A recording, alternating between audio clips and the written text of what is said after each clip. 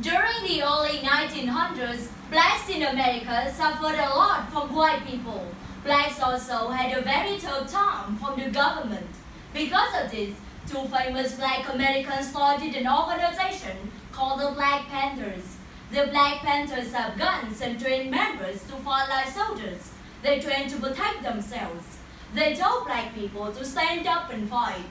The Black Panthers also told other black Americans that they were equal to white Americans. The government did not like the group and they did not want black Americans to have power. The, the Black Panthers also helped the black society. Most blacks during that time were poor, so they opened kitchens to feed breakfast to over 10,000 children every day. They also had newspapers to share news about the black society. The government did many things to try and stop the group. For instance, they tried to make the group confused by giving wrong information to other people. The government also had many famous black leaders killed.